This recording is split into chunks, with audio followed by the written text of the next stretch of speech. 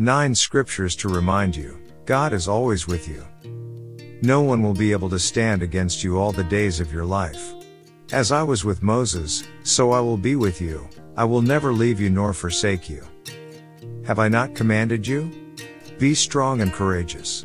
Do not be afraid, do not be discouraged, for the Lord your God will be with you wherever you go. Let your character be free from the love of money, being content with what you have, for he has said, I will never desert you, nor will I forsake or let you down, or relax my hold on you. And teaching them to obey everything I have commanded you.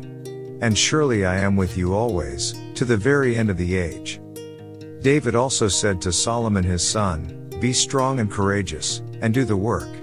Do not be afraid or discouraged, for the Lord God, my God, is with you. He will not fail you, or forsake you until all the work for the service of the temple of the Lord is finished. I am with you, and will watch over you wherever you go, and I will bring you back to this land. I will not leave you until I have done what I have promised you. The Lord will not reject his people, he will not abandon his special possession. But you are a chosen people, a royal priesthood, a holy nation, God's special possession, that you may declare the praises of him, who called you out of darkness into his wonderful light. For the Lord your God is a merciful God, he will not abandon or destroy you, or forget the covenant with your ancestors, which he confirmed to them by oath. Thank you for watching.